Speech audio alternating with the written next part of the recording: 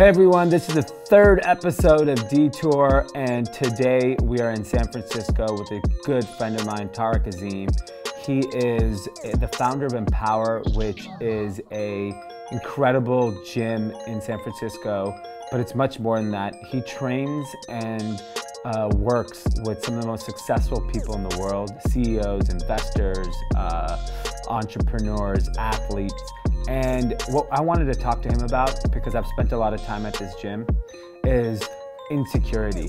It's something that I never thought when I saw these people that they have an ounce of, but I'm learning, learning more that some of the most powerful people on earth are very insecure, are, have a hard time being vulnerable.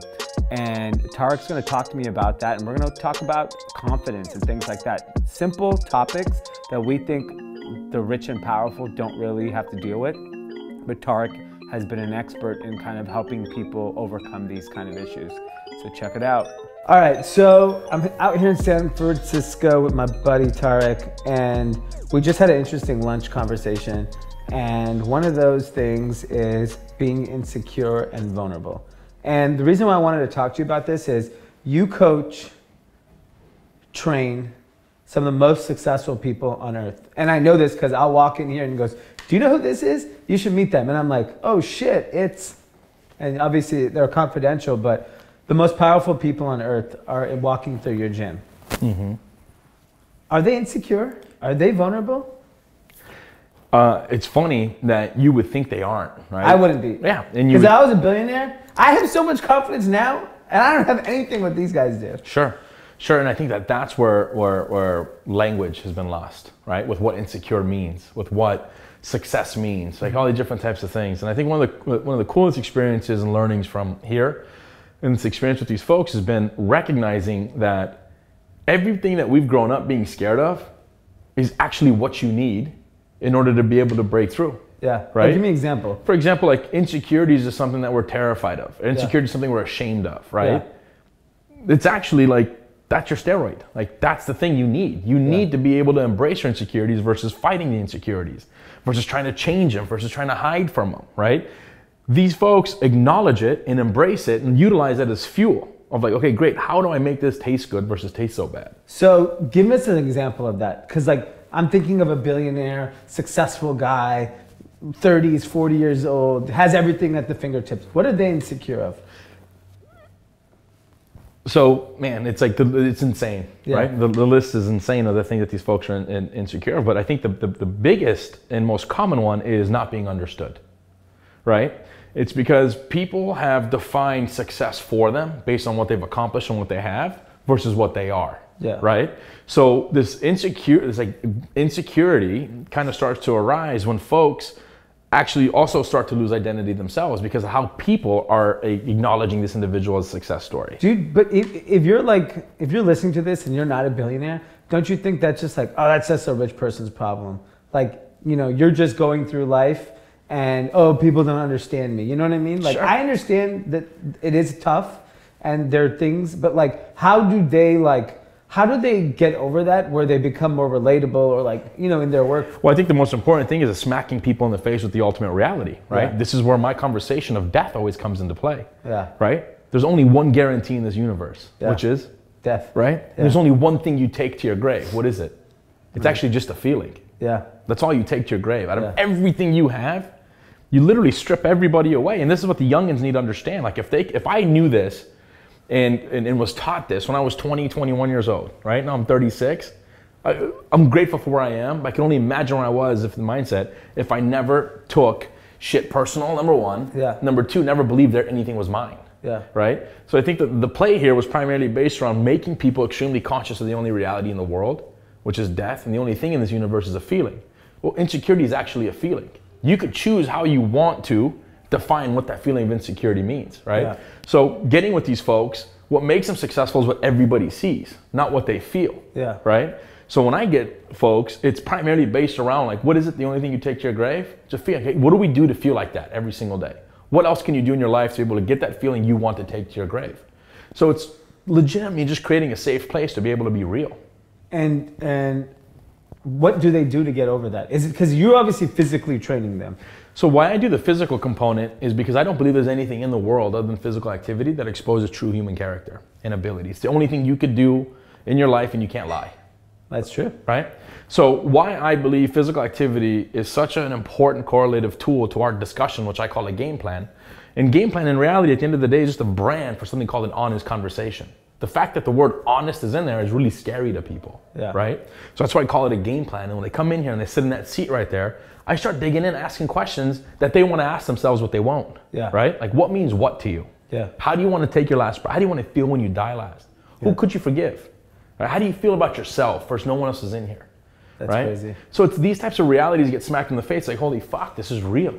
And all I do with the physical activity is I utilize that as our space of communication and realization to where like I asked them at the end of the game, what do you want me to what do you want me to hold you accountable to? Yeah. Through physical activity, that's what I do with these folks. If they want to quit or shit gets uncomfortable or I'm getting, you know, tired or I'm getting shaky, I just kind of remind them of our conversation of like what means something to you more than anyone could ever see. Yeah. So it's primarily about this fight for something only you could feel and nothing can come between you and that feeling.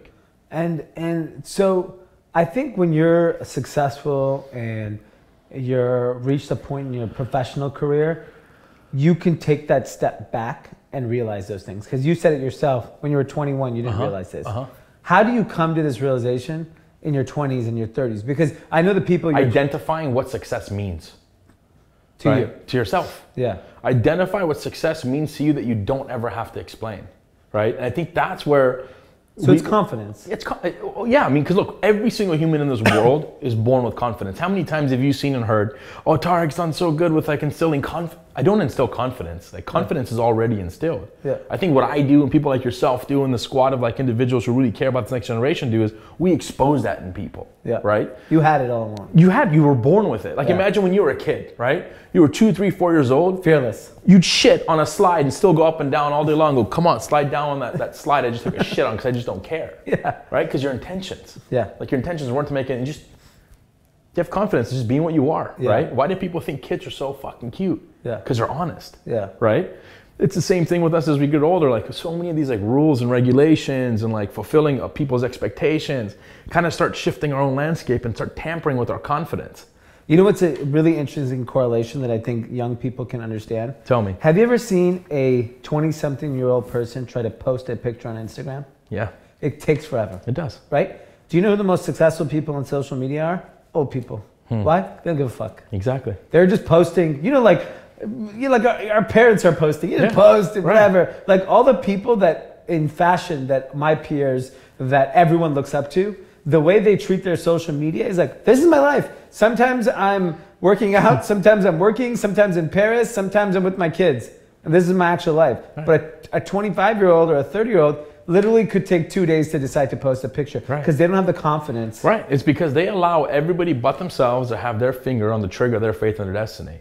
Yeah. Right. My proposition to this generation and to just people in general are you have the ability of making a decision, right? Like you choose to put on that jacket today, right? You mm-hmm. chose to put on that hat today, right? Yeah. Like why do you stop that ability when it comes to making decisions about yourself, about things that mean something to you? Yeah. Why do you leave that out for the universe to approve? Right? Like, is this right thing to do? Well, fuck, if you feel it, it is. Yeah, well, what are you doing to practice feeling every day? Yeah. Right? And I think that's where people are disengaging tremendously. Is like people don't practice feeling anything anymore. So right? what, what does that mean? Like, give me an example of like, what could I do? Well, what do you do every single day to understand what your ability is? Like you push by running like a motherfucker nonstop, Yeah. Right? Like shit gets uncomfortable. Your shin splints, right? Yeah. Like exhausted, hungry. You wake up at five o'clock every single day. Don't get home till 10, 11. Yeah. Right? Up with up with your kid all night. Yeah. Right? You know, get sick sometimes, etc. But you still get up and do your uncomfortable shit. Yeah. Right? To be able to just understand, like, look, I have an I have an ability to break through discomfort. Mm-hmm. And my breakthrough discomfort actually makes me fiend discomfort. Yeah. Because that's when I recognize who and what I'm capable of being. And I think for me, and I don't, I never viewed it like that, but I totally agree. I always viewed it like I need to toughen myself up. and- For? For life. Uh huh. Because there's good moments and there's bad moments. So you, you say, I, I feel like I need to toughen myself up versus you already know you're tough. Yeah. It's exposing that I'm tough. Yes. Right? Exactly. So this is where, as I alluded to earlier, the significance and the power and understanding of language is so important with this generation. It's funny as fuck. Sometimes I talk to these youngins that come around especially some of the young dudes that kind of get drafted and go into the league and how was today? Oh, I'm so tired. Like you automatically say that word and look what happens. And you're tired. And you're tired, right? Oh man, it was such a stressful drive.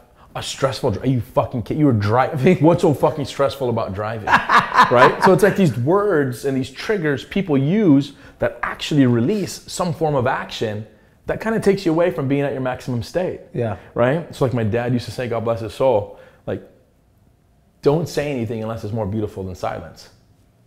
Right? Amazing.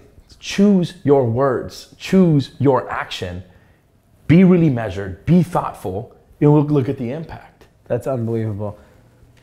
Last final note. You're listening to this right now. What's one actionable thing that someone can take away from listening to you? Define how you want to feel on your last breath. And I want everything in your life that you do literally to match that feeling, right? Like, oh, fuck, I mean, I, I should read this, but I should. No, is it going to tamper that feeling? Yeah. Right? Or should I forgive this individual? Well, imagine how much cleaner your heart would feel if you did. Yeah. Right? So my whole goal with a, a takeaway from this thing would be that people really define how they want to feel in their last breath and make that the practice that they hold themselves accountable to every day. Amazing. Thank you. Thank you, man.